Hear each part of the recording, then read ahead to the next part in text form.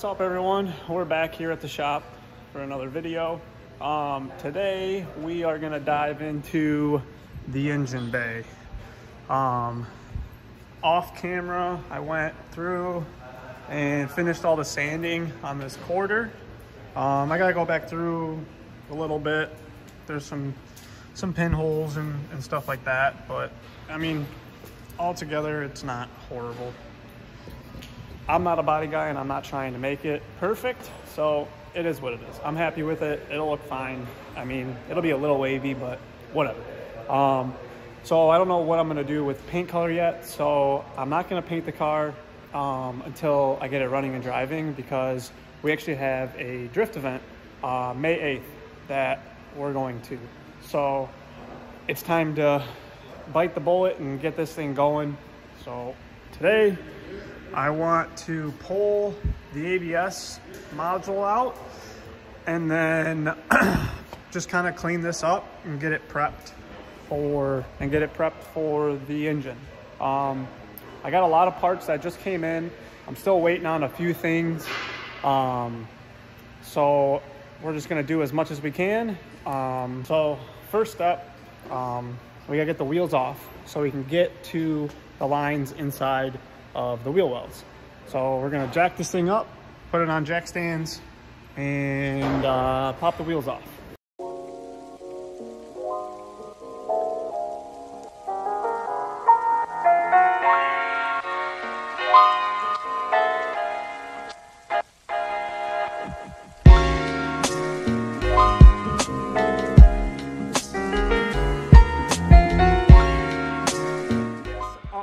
This line off from the caliper line um, because those go to the ABS module. Uh, we got to pull the lines off of the master. Got to pull the lines off the master. Um, yeah, so basically all these hard lines are going to be bye-bye. In here, cut the wheels off. Next step you want to do is pull the brake fluid out of the master. So I got a vacuum bleeder and I'm just going to use this to suck the fluid out into this reservoir. Just helps with uh, not making a mess anyway.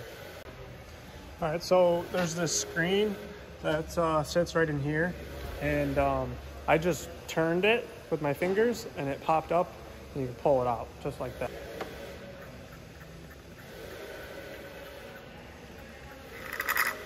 Um, got the fluid out of the reservoir. Going to pull the lines off the master and pull the bolts out of this ABS unit. So your master cylinder is labeled.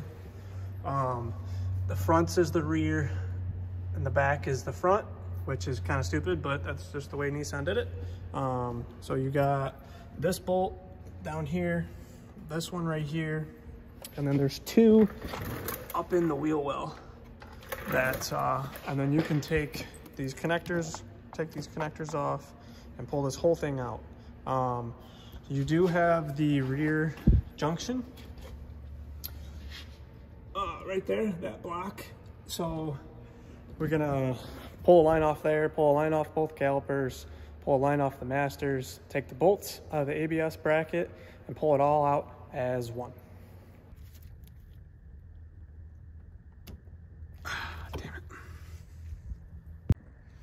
Take two.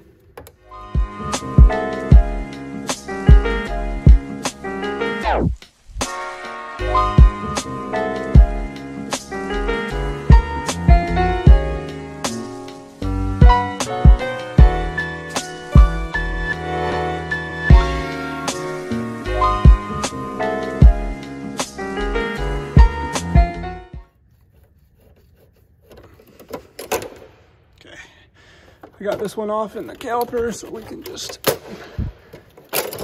pull that through. Save this uh, rubber, put it on the new line.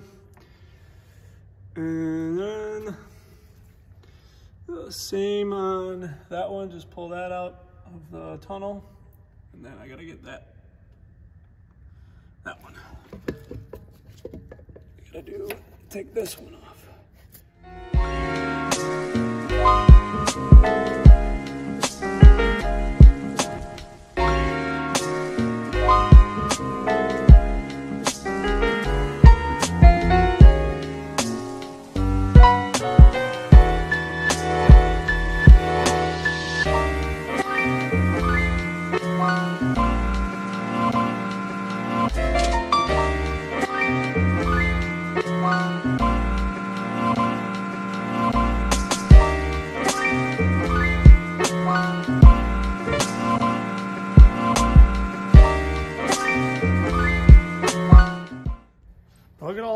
For activity. Wow. All right, I'm gonna clean up the bay a little bit where the module and all that stuff was.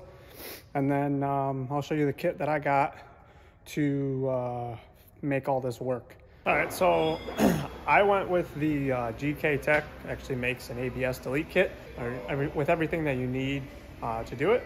So um, this is what we got here.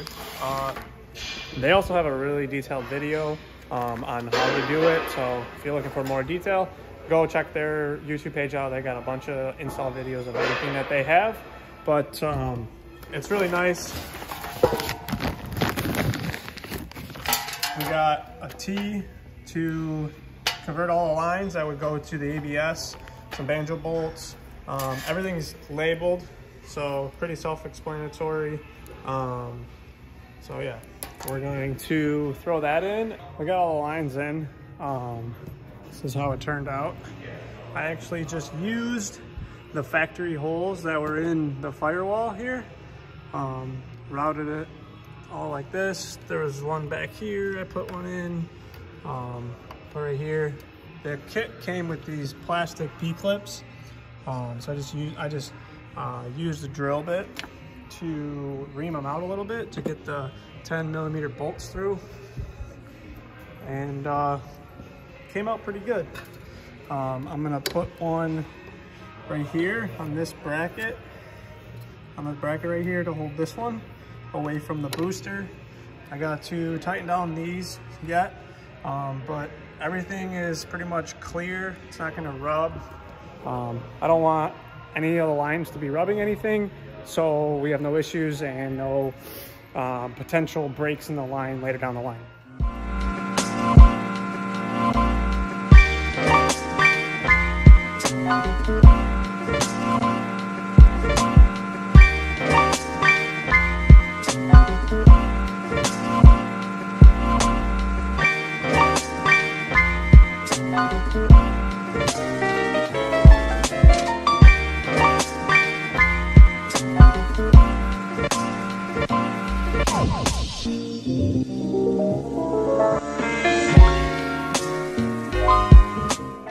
Everything all tightened up. Um, after you're done installing all the lines and just go back through and make sure that you uh, tightened everything, just do it, double check.